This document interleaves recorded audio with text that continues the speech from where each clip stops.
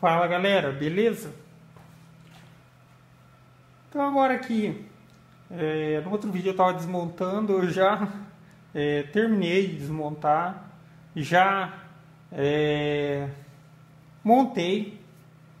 Então o que não tem aqui que tinha era aqueles fios que eu mencionei, aquela fiação toda e tal, é, que seriam responsáveis pelos limites da máquina. Agora já deu uma limpada na questão aqui do visual da máquina e também lá. Algumas pessoas preferem, eu prefiro não deixar os limites, entendeu? É, eles começam a dar interferência, as coisas. E como eu disse, eu costumo trabalhar, é, fazer pequenos trabalhos, eu sempre estou sempre acompanhando. Mas quem é, tem uma CNC melhorzinha e tal, às vezes tem trabalhos que vão de 5, 6, 7, 8 horas direto. Esse dia mesmo eu estava vendo um que o cara disse que ter, demorou 23 horas, que é quando é relevo 3D. Que é um processo bem lento mesmo, mas o resultado é um negócio demais, cara. É... Então aqui a princípio está com a tupia mesmo. Eu vou rodar um arquivinho ali só para para vocês verem ela em funcionamento. É, ela tá com uma frezinha do tipo de é, seria de 45 graus. Então ela só vai desenhar superficialmente, ela vai aprofundar 3 milímetros na superfície do material e vai fazer o desenho do arquivo que está ali. A ideia é que agora eu preciso começar a avaliar ela trabalhando porque eu não vi ela trabalhando assim por dizer. É, então, isso daqui vai ser o primeiro corte que eu vejo ela fazendo. Mas a ideia é tirar o spindle, que ele é menorzinho, bem menor. Ele é um pouco mais fraco na questão de potência, a tupia é 530, ele é 300, mas ele é perfeito, cara. E tem muitas vantagens além da tupia. Primeiro, menos gasto energético, bem menor o ruído. E no caso da, do spindle, eu tenho joguinho de pinça, que me possibilita trabalhar com diversas espessuras de fresa, desde um milímetro, que eu acho é difícil até de ter, a pincinha de um milímetro é mais voltada para broca, provavelmente, até uma de 7 milímetros. Mas o padrão e que você encontra no menor custo-benefício é a de 3 milímetros e um oitavo, que seria teoricamente a mesma coisa, mas 3 milímetros é 3 milímetros e um oitavo é 3.175, acho que seria isso.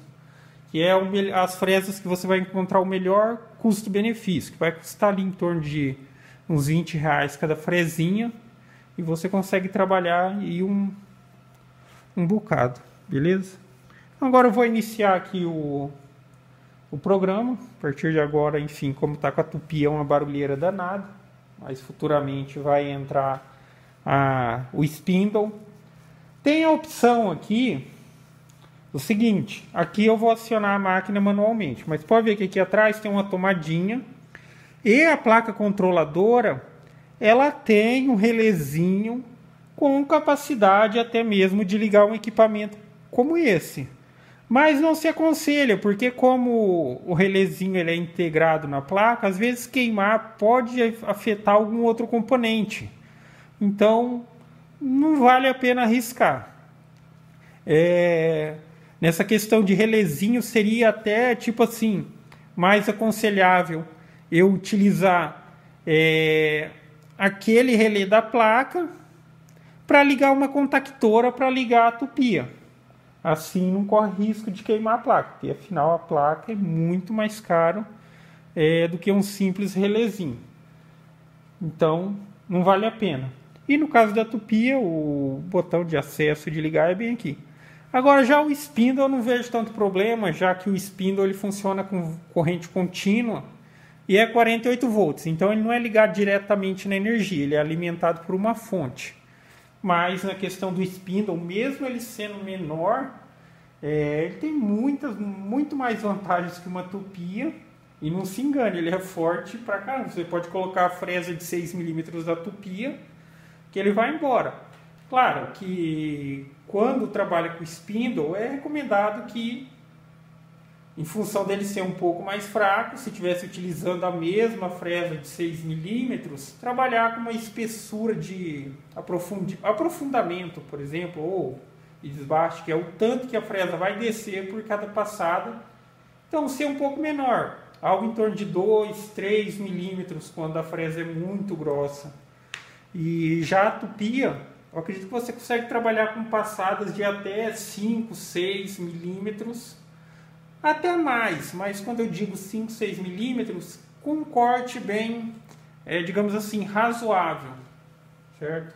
Então vou iniciar agora aqui o, o programa, acionar a tupia e iniciar o programa ele vai fazer o, o desenho.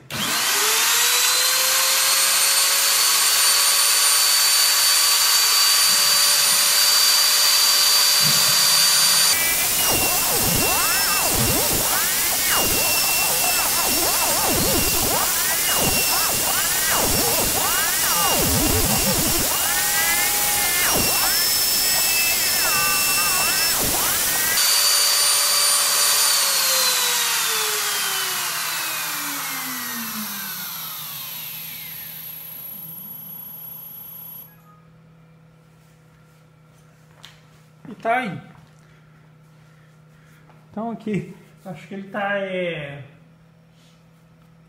do jeito que ele ficou aqui, ele não tá assim por, por conta de da máquina nem nada. Que na verdade, é, quando você desenha o desenho, você tem que especificar é, a espessura da fresa. Por exemplo, esse desenho aqui, quando eu fiz, eu fiz ele para recortar com uma fresinha de 3 milímetros, não com uma fresa, por exemplo, que seria essa daqui de 45 graus.